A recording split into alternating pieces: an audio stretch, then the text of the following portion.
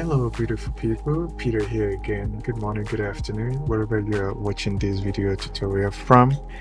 Today we're going to see another topic in our video series for Autopilot. How to enroll Windows 10 device with Intune Companies Portal.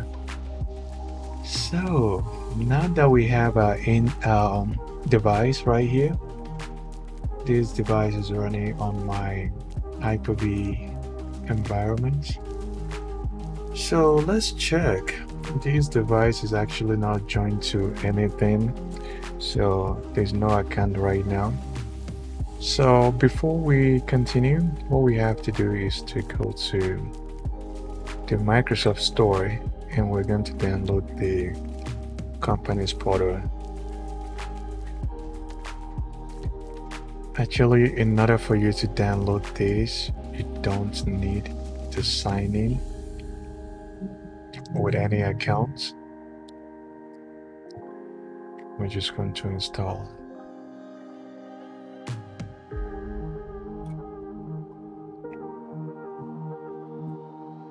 So let's wait a little bit for this to be installed. I might be able to fast forward this uh, this video a little bit just for us not to wait. I'll be right back.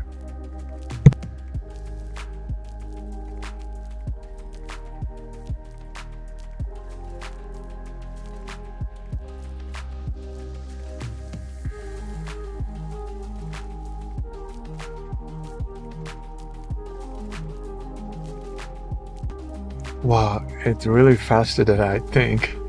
So now that we have the company's app, we're going to launch it.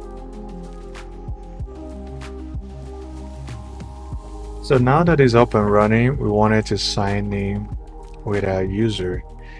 Please make sure that this user have a Intune license,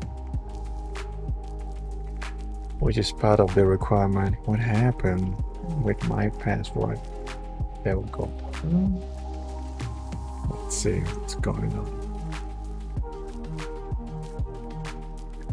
Alright, so um, if you're joining your device or you're enrolling it that to Microsoft Intune using the company's portal, you actually want to have this checked and say OK. So we can check on here that we don't have that device also available. So let's go back to our machine. It might take a little bit. Now it says that we're all set. Let's see what we have.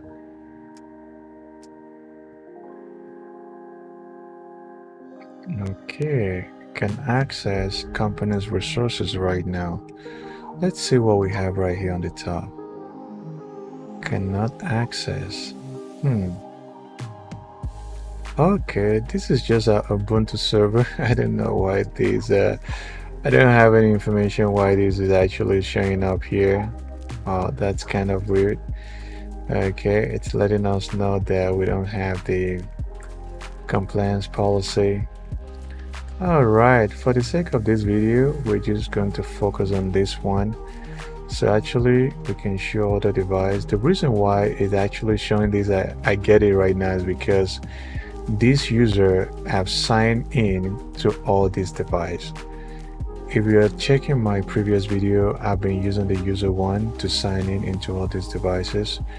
So if I would have signed in with a different username, we won't see all this information. So just I just for a head up right there. So right now everything looks good. Ownership personal. All right, let's go back. Let's go back to our Intune portal and see if that is true. Yes, it's true. Look at it. We have the user one window in Intune. Everything is compliant. And uh, let's see what we have right here.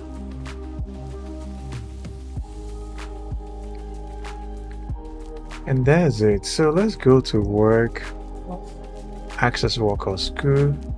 You can see that we have this right now and we have this info button right here.